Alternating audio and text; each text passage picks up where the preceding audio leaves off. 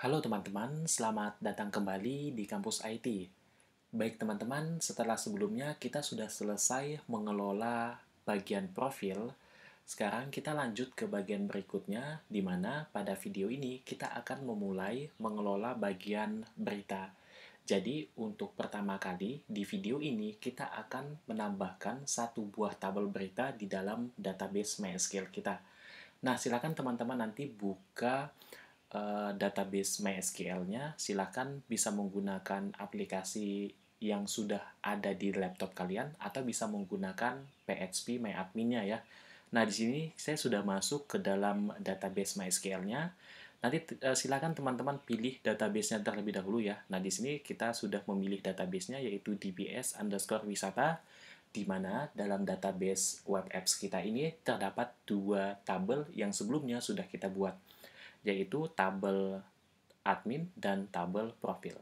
Nah, sekarang kita akan lanjut untuk membuat tabel berita di sini. Oke, silakan teman-teman di bagian create data di bagian eh, di bagian create table di bagian bawah ini untuk bagian name-nya silakan nanti teman-teman tambahkan tbl underscore berita seperti ini. Jadi uh, kita sesuaikan saja format awalnya, penamaan di bagian awal ini dengan uh, penamaan tabel yang lainnya. Ya, jadi uh, supaya selaras seperti itu. Oke, kemudian di sini ada berita menunjukkan bahwa ini adalah tabel yang kita khususkan untuk menampung data-data berita. Baik teman-teman, jadi untuk tabel berita ini rencananya akan saya buat uh, 6 atribut ya. Oke, jadi di sini karena ada enam atribut yang akan saya gunakan di dalam tabel berita ini atau ada enam kolom sehingga di sini teman-teman bisa tambahkan menjadi enam. Oke. Jadi bisa diklik panah ke atas atau teman-teman bisa langsung ganti saja di sini dengan 6 seperti ini. Oke, kalau sudah seperti ini, teman-teman nanti bisa langsung pilih go saja. Oke, kita sudah dipersiapkan 6 atribut ataupun 6 kolom di sini Oke, seperti ini ya, yang mana strukturnya nanti bisa kita uh, kelola sesuai dengan kebutuhan kita. Seperti itu.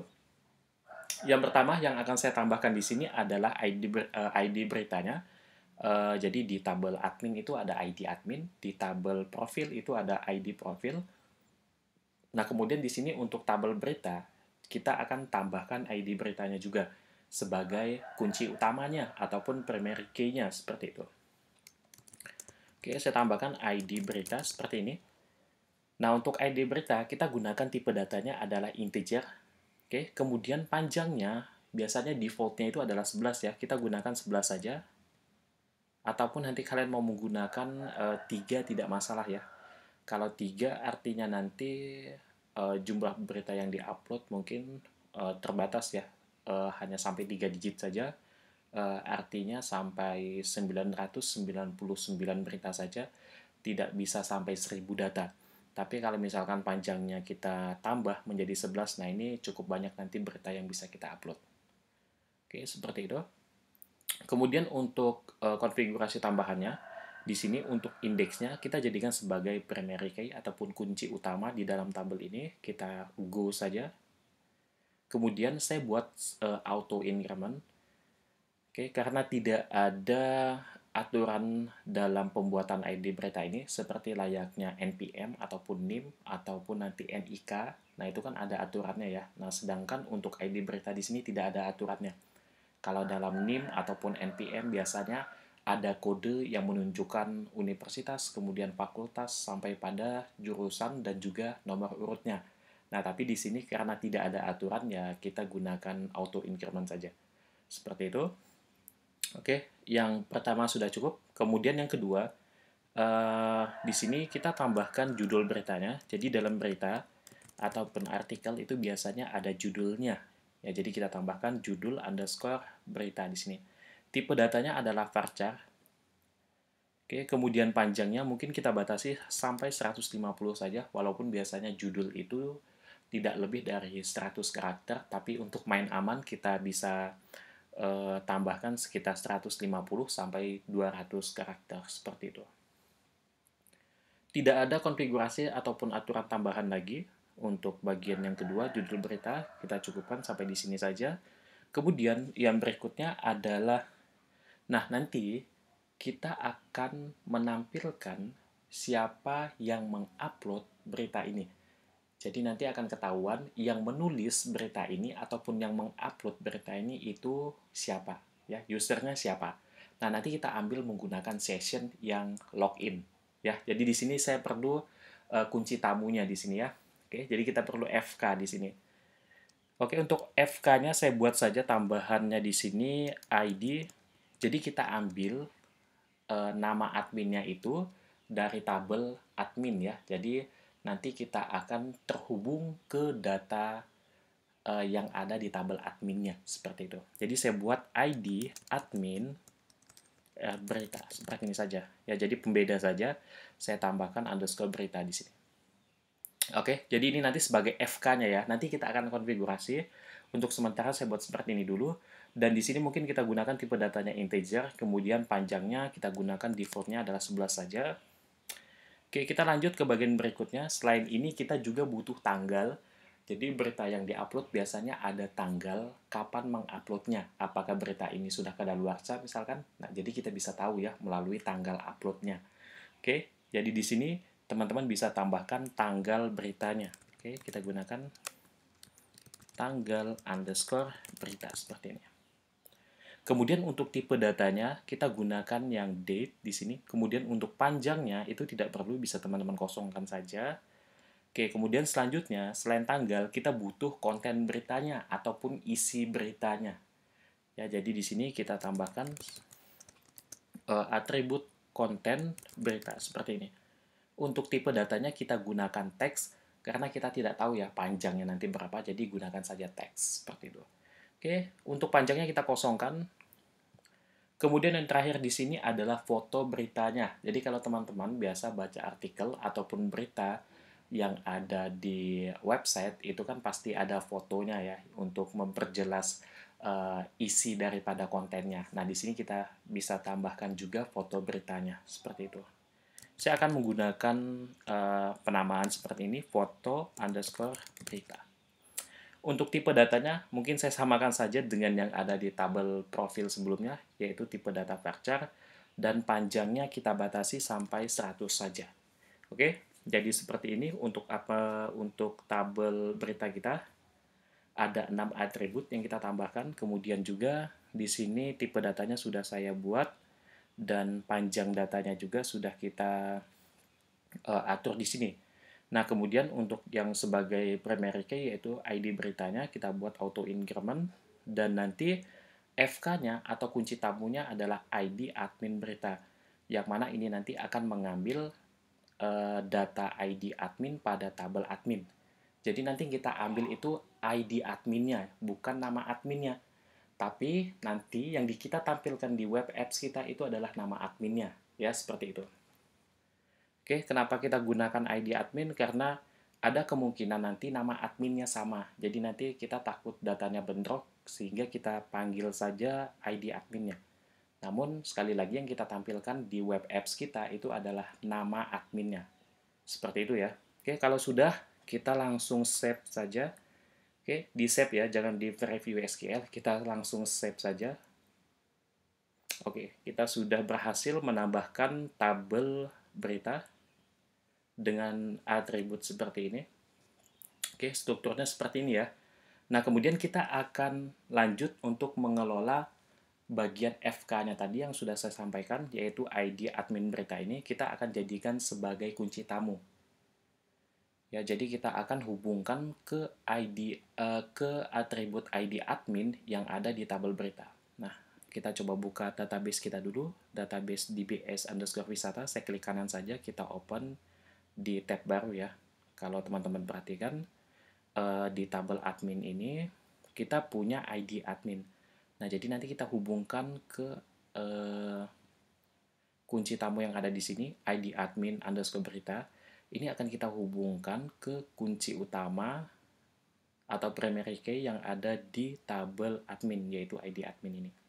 Oke, nanti teman-teman bisa melihat visualisasinya, tapi terlebih dahulu kita lakukan konfigurasinya. Oke, kita langsung masuk saja ya di sini. Silakan nanti teman-teman masuk dulu ke tbl underscore beritanya. Jadi, uh, tabel berita ini bertindak sebagai childnya, ya sebagai anaknya. Kemudian tabel admin ini ber, uh, bertindak sebagai parentnya, sebagai orang tuanya. Ya, jadi uh, ini adalah parentnya, kemudian tabel admin ini adalah parentnya, kemudian tabel uh, berita ini adalah childnya. Kita buat seperti itu saja ya. Oke, jadi kita bisa kelola di bagian tabel childnya saja di sini. Oke, TBL berita, kita masuk ke relation view. Ya, tapi sebelumnya teman-teman harus pilih struktur dulu, jangan di bagian ini ya. Jangan di bagian browse karena tidak ada, pilih ke struktur dulu.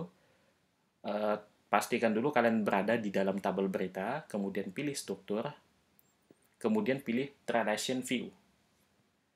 Ya, di sini nanti sudah disiapkan satu buah tabel untuk mengelola bagian kunci tamunya tadi atau FK-nya. Oke, ini adalah constraint name-nya. Kita mau oh, menggunakan nama seperti apa, bisa juga dikosongkan atau mau kalian gunakan nama yang lain juga boleh di sini. Oke, saya akan menggunakan FK underscore ID admin underscore berita. Oke, seperti ini. Kemudian kolomnya kolom yang saya mau jadikan kunci tamu di tabel berita, sekali lagi ya di tabel berita ataupun di tabel child, di tabel anaknya, kolom yang mau saya jadikan sebagai FK itu adalah kolom ID admin berita. Bukan kolom ID berita ya, karena ID berita ini sudah menjadi kunci utama. Nah, di sini ID admin berita. Oke, sudah. Nah, sekarang kita mengelolanya di database apa? Nah, di sini sudah ada database kita dbs underscore wisata. Kita pilih saja dbs underscore wisata. Nah, ini artinya kita akan menghubungkannya ke tabel apa di dalam database apa. Seperti itu ya.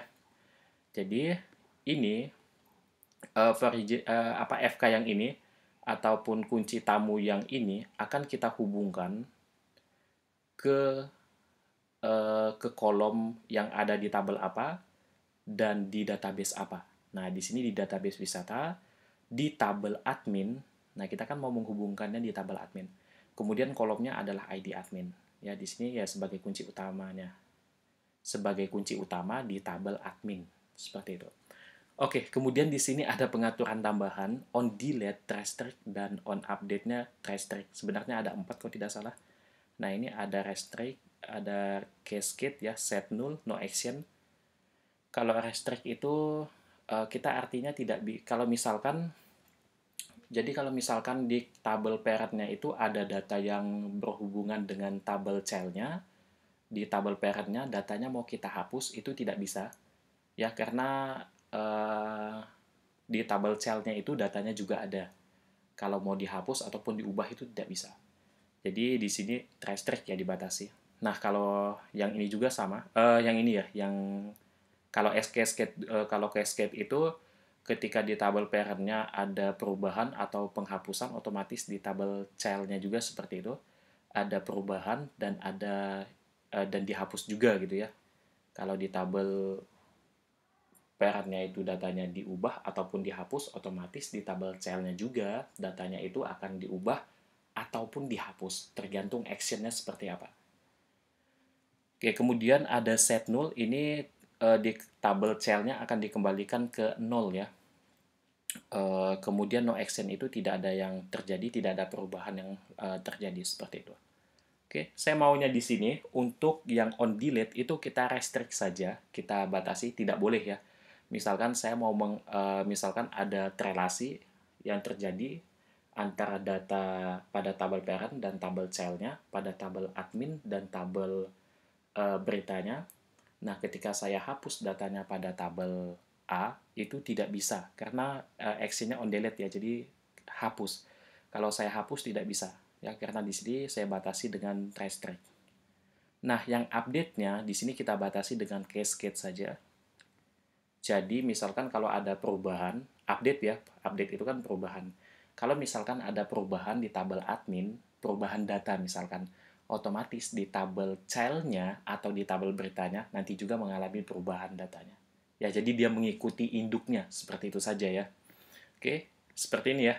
Untuk yang on delete-nya, trace track. Untuk yang on update-nya, kita buat cascade. Kemudian saya save saja. Oke, kita sudah punya ya. Kita sudah punya satu FK di sini. Kalau teman-teman perhatikan, kita kembali ke tabel berita. Kita pilih struktur. Nah, di sini sudah ada simbol kunci yang warnanya ya jelas beda dengan warna pada ID berita. Oke, jadi di sini adalah kunci utama, sedangkan di sini hanyalah kunci tamu, seperti itu. Oke, baik. Uh, jadi misalkan kalau teman-teman mau insert data, Oke, misalkan pilih insert data, di sini kita sudah bisa mengambil data yang ada di tabel admin ya. Nah, kalau teman-teman perhatikan di tabel admin, di tabel admin kita hanya memiliki satu buah data, yaitu John Pamungkas. Sehingga di sini kita sudah bisa mengambil datanya. Oke, John Pamungkas juga.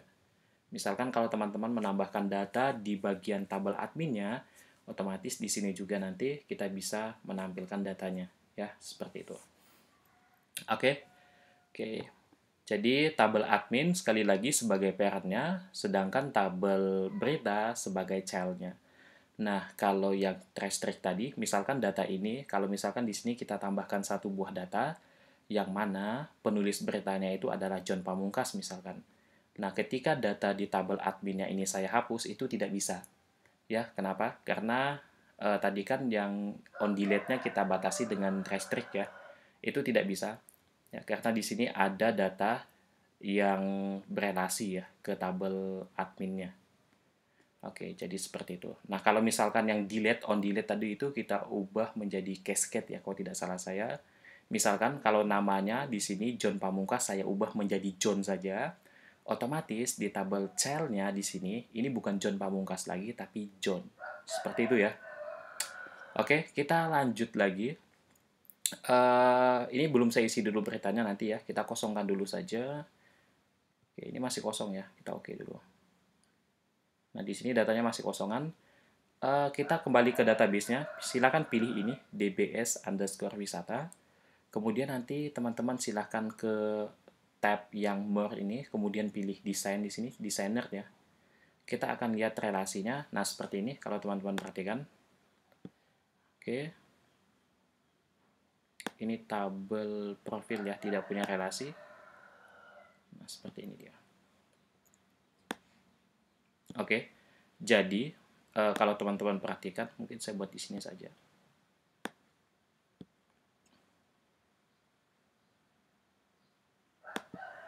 Nah e, tabel admin ini bertindak sebagai parentnya ya orang tuanya. Kemudian ini adalah childnya.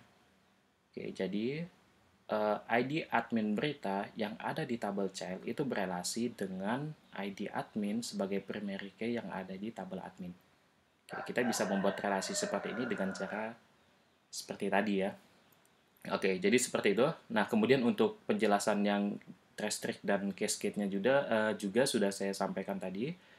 Uh, silakan nanti kalau misalkan masih kurang jelas, silakan nanti teman-teman uh, pelajari kembali ya karena banyak juga artikel yang membahas tentang itu. Kemudian di YouTube juga cukup banyak video yang membahas tentang bagaimana cara membuat uh, kunci tamu di dalam database MySQL. Oke, seperti itu teman-teman. Nah, untuk bagian ini saya pikir kita sampaikan di uh, kita cukupkan sampai di sini dulu. Untuk bagian berikutnya kita akan langsung mengelola di bagian sistem web apps-nya. Jadi kita langsung melakukan pengkodean uh, kemudian Eh, kita akan kelola CRUD-nya juga ya untuk tabel berita. Baik teman-teman, untuk video kali ini saya cukupkan sampai di sini. Silahkan nantikan video berikutnya dan sampai ketemu lagi. Terima kasih semuanya.